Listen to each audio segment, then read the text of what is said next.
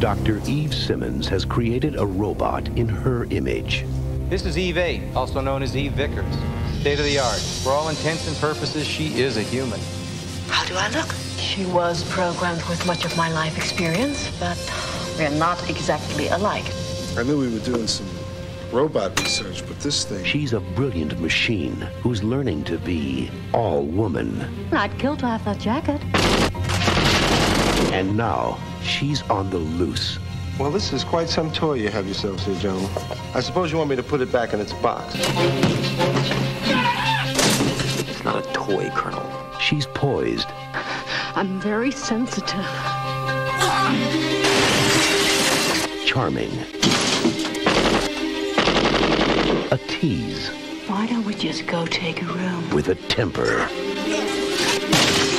I'll call you sometime, okay? And she's having a bad day. Come on, get out of the way! I'm very sensitive. She's activated. What do you mean she's activated? She's a state-of-the-art thermonuclear warhead. A walking nuclear bomb. And once you turn her on, you'll never turn her off. If we don't find her in the next 24 hours, she'll explode with enough force to take out 20 to 30 city blocks. Target is still at large. Gregory Hines, Eve of Destruction. Not just another pretty face. Please don't say this. I'm very sensitive.